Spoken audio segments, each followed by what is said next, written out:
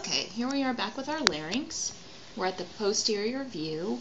We can see, see if this arytenoid will stay on here, but um, hold on one second. So we've got the hyoid bone, the thyroid cartilage in white.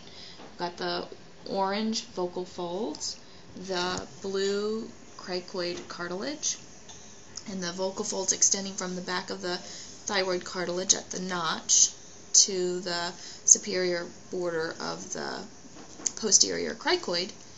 And actually, they, they go to the arytenoids, but just for the sake of making this model, I had to have a way to get them to stay there. So they're actually attached here onto these arytenoid cartilages in yellow.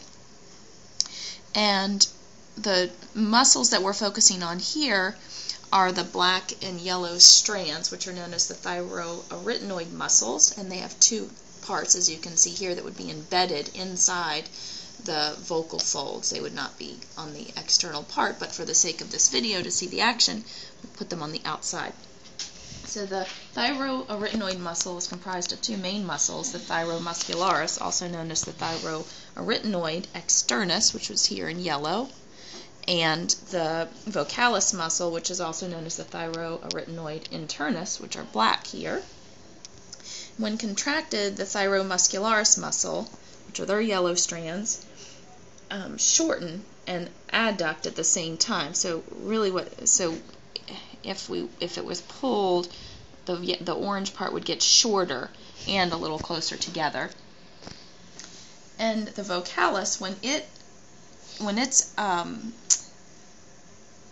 when it is tightened, um, it's a glottal tensor, so the vocal ligament, ligament gets shorter and thicker, and in that way, the frequency of the of the vocal folds um, vibration decreases, and therefore the the pitch that's perceived decreases. So these are um, the um, what's the word I'm trying to think of? Um, well, they shorten and thicken the vocal folds. here we are back again with our larynx, another posterior view. We have our arytenoid cartilages sitting on top of the cricoid cartilage.